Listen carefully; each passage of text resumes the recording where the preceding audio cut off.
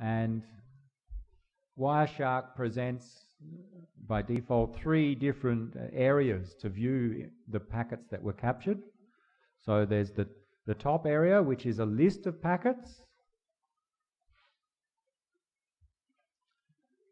One line per packet. Everything captured is listed here. Then when you select one, the bottom two areas, this area shows the details of that one selected packet in some nice human-friendly form. We can zoom in on parts and look at header fields.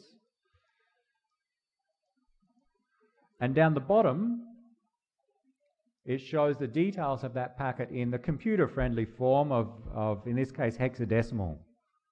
Packets are just a sequence of bits.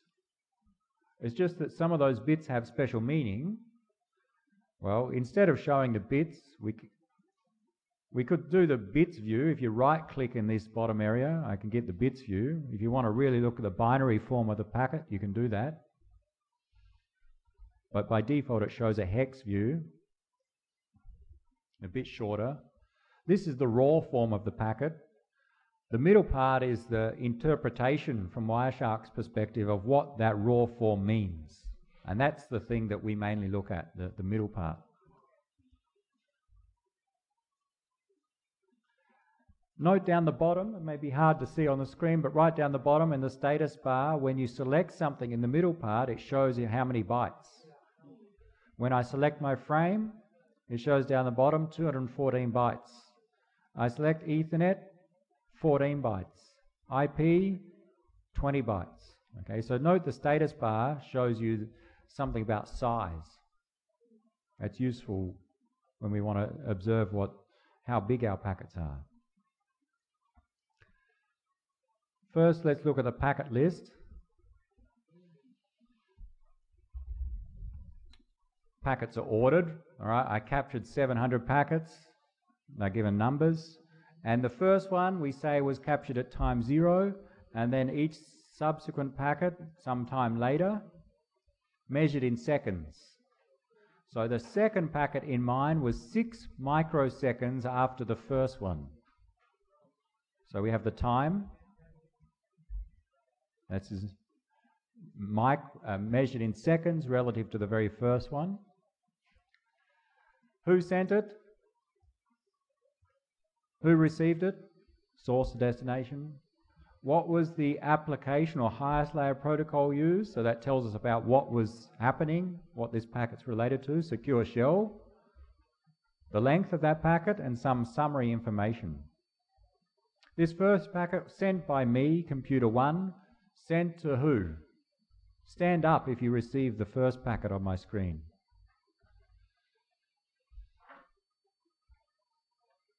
Don't be shy. Anyone? Someone standing up or just leaving? Is anyone sitting at computer 27? Or we have a ghost there? Or at least put your hand up if you don't want to stand up. Okay, so this packet on my screen, you can sit down now. This was sent by my computer to computer 27. I know by the IP addresses. All right using secure shell. Why? Note that everyone's logged into my computer at the start. You SSH into my computer, so there are many packets going to and from my computer. Computer 27, 26, 12, 3, so this is all of your computers when you've logged into mine. Let's find my web page request because when I captured, I accessed a website. I hope I've captured that packet. So the filter is very useful. Of those 700 packets, I don't want to have to browse through and find the ones of interest. Take some time. There are a lot of packets being sent in the background. Let's find the ones of interest using a filter. And on the slides, I give some example filters. You can try some of them. You'll, you'll work out the best ones for you. I'm going to filter and try and find HTTP and IP address equals me. Show me all the HTTP messages where the IP address, source or destination, is my computer. And I apply that filter, and now I get just two packets.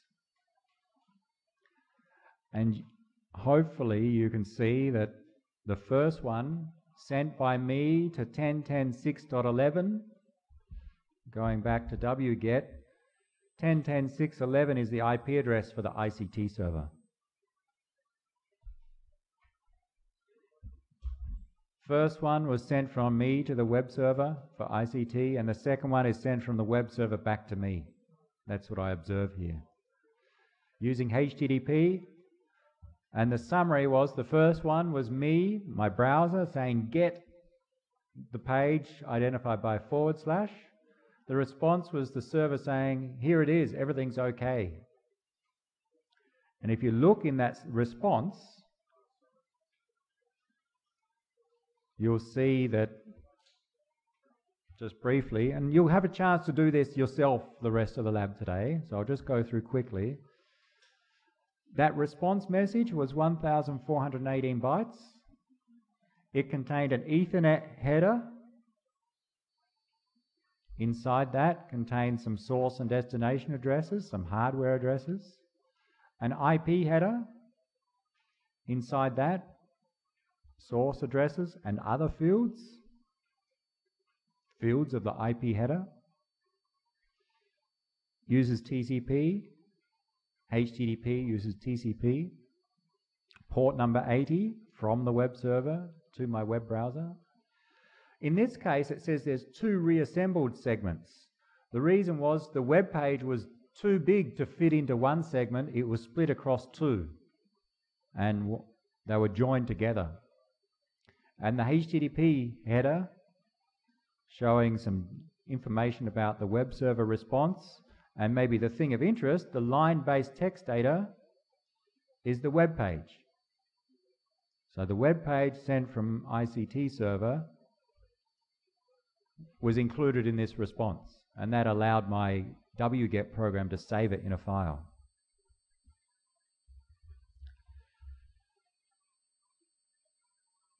So your objectives today are to learn how to capture with TCP dump, not so hard, you've just done it, and then learn how to find information in Wireshark, right? So over the, the rest of the course, we will use Wireshark a number of times and you say, capture this, and then answer some questions.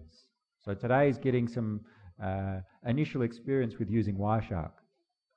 That is, what do all these columns mean, how to interpret the, the packet details, how to do filters are some of the things I want you to learn today. And to learn, there are some tasks. So in the following three tasks, what you need to do really is capture with TCP dump, use some application stop the capture, open in Wireshark, and then answer some questions from what you observe in Wireshark. And I'll ask you to draw some pictures as well. So make sure you have some paper and pen or pencil to draw some pictures soon. Uh, you'll see some examples on the next two slides, but I'll, I'll let you do the capture first before I explain the message sequence diagram and packet diagram. But I think you've seen them before, so not too hard. So to the first task. Let's use Netcat, which you know how to use,